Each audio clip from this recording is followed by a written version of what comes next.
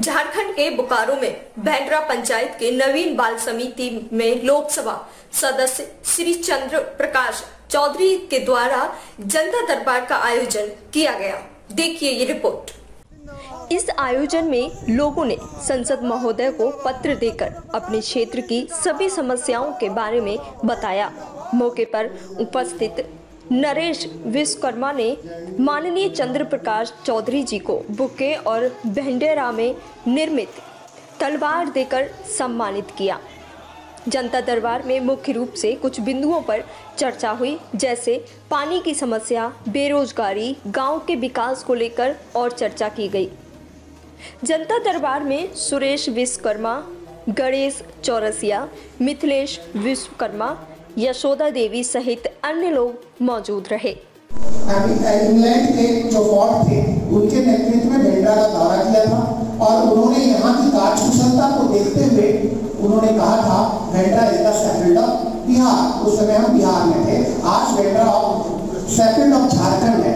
माननीय संसद महोदय, आपको ध्यान आकर्षित कराते हुए मैं कहना चाहूँगा कि जेपीएससी झारखंड का जो एग्ज़ाम होता है, उसमें एक नंबर का सवाल पूछा जाता है क्वेश्चन में एक मार्क्स होता है और सवाल पूछा जाता है, झारखंड का सेपिड कौन?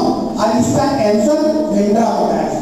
माननीय संसद महोदय मैं आपसे ये कहना चाहूँगा सेपिड इंग्लैंड में एक वर्कशॉप है, जहाँ पर सुई से लेकर जहाज़ तक बनाया जाता है और उसी के संबंध में फोर्ड के टीम ने इस बात को एक उपमा के रूप में भेंडरा को दिया था हमें हमें गर्व महसूस होना चाहिए। मुझे गर्व है कि मैं भेंडरा का बेटा हूँ और यहाँ के कुटीर उद्योग के संबंध में आपसे रूबरू कराता हूँ। काफ़ी घोषणाएँ यूपीए सरकार के द्वारा, हेमंत के, हेमंत सोरेन के द्वारा जिसमें प्रमुख दो चार पाँच समस्या, ऐसे तो बाईस समस्या थी इसका समाधान के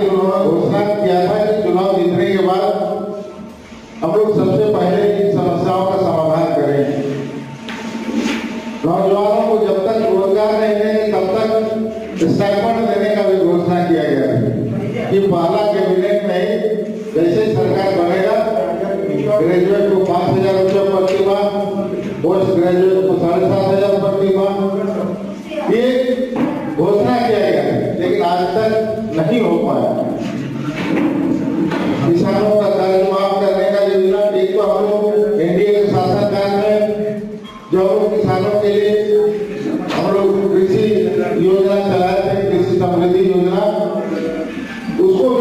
क्या सच है, क्या झूठ?